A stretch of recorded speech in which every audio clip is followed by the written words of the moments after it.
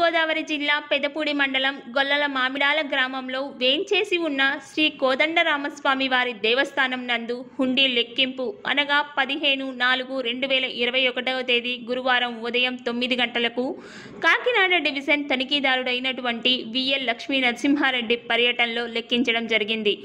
గడిచిన రెండు సంవత్సర కాలానికి గాను నాలుగు లక్షల యాభై ఏడు వేల ఆరు వందల పద్దెనిమిది రూపాయలు ఆదాయంగా సమకూరింది. అలాగే నాలుగు గ్రాముల విలువైన బంగారు చెవిదిద్దుల జత భక్తులచే హుండీల ద్వారా సమర్పణ జరిగింది. గత సంవత్సరం కరోనా వైరస్ ఉధృతంగా ఉన్న కారణంగా హుండీ లెంకింపును నిలిపివేయడం జరిగింది. ఆలయ వంశ పారంపర్య ధర్మకర్త ద్వారంపూడి శ్రీరామ మురళీకృష్ణ శ్రీనివాస్ రెడ్డి ద్వారంపూడి శ్రీదేవి మహాలక్ష్మి అచ్యుతరెడ్డి సూర్యనారాయణ స్వామివారి దేవస్థానం కార్యనిర్వహణాధికారి ఎంఎం వీరభద్రరావు నడకుదురు భక్తుల సేవా సంఘం గ్రామస్తులు భక్తులు ఆలయ అర్చకులు రేజేటి మంజునాథాచార్యులు రామాచార్యులు సిబ్బంది తదితరులు పాల్గొన్నారు. యువర్ వాయిస్ అవర్ న్యూస్ మ్యాచ్ టైన్ న్యూస్.